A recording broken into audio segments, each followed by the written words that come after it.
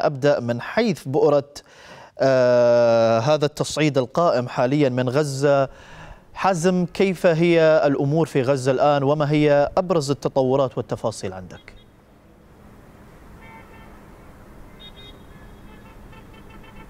الجديد هو إعلان العدد من الفصائل الفلسطينية هنا في قطاع غزة حالة الحداد الوطني والإعلان عن إضراب شامل في عموم المرافق هنا في قطاع غزة حدادا كما يقولون على أرواح الضحايا الذين قضوا في هذه العملية العسكرية.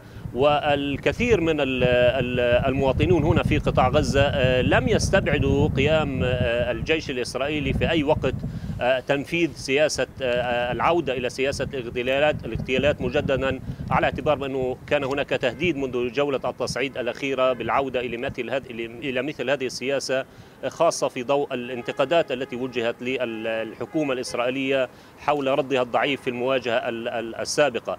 عمليا فجر هذا اليوم بدأ الجيش الإسرائيلي هذه العملية العسكرية بتنفيذ غارات على ثلاثة مواقع أو شقق كان يتحصن بها هؤلاء القادة العسكريين وتم استهدافهم بواسطة طائرات مسيرة. تستطيع العبور إلى داخل هذه الشقق وإحداث انفجار في داخل المكان المستهدف دون الوصول إلى تدمير هذه المنازل بالكامل على الأقل كما شاهدنا في المشاهد التي بثت عبر الشاشة.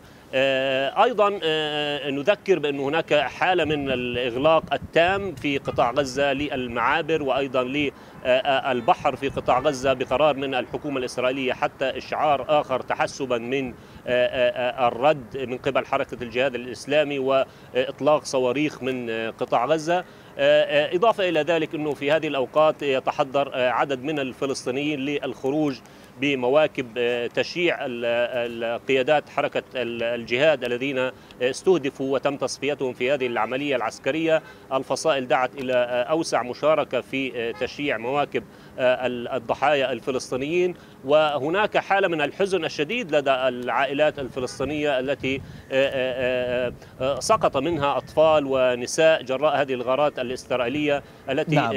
أسفرت حتى هذه اللحظة عن مقتل 13 فلسطينيا بينهم أطفال ونساء وهناك ترقب كبير لماهية الردود الفلسطينية خلال الساعات المقبلة في قطاع غزة.